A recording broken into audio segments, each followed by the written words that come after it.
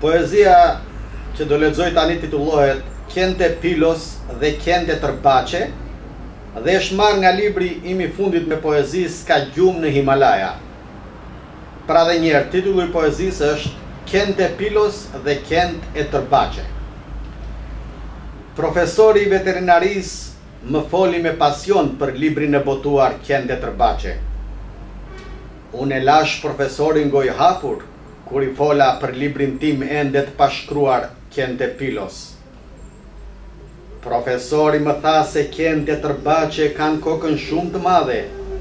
Unë i thashë se qentë e Pilos kanë dhëmbët e mëdhenj. Profesori më tha se qentë e Tërbaçe janë të egër. Unë i thashë se qentë e Pilos gjashtë muaj nuk njohin as diellin dhe as Pilon. Profesori më tha se qentë e Tërbaçe i lidhin te stani. Unë i thashë se qentë e Pilos e këputin zinxhirin. Profesori më tha se qentë e Tërbaçe shqyejnë ujkun. Unë i thashë se qentë e Pilos shqyejnë njeriun. Profesori më tha se qentë e Tërbaçe kanë këtu e katërqind vjet. Unë i thashë se qentë e Pilos u lindën dhe u rritën në demokraci.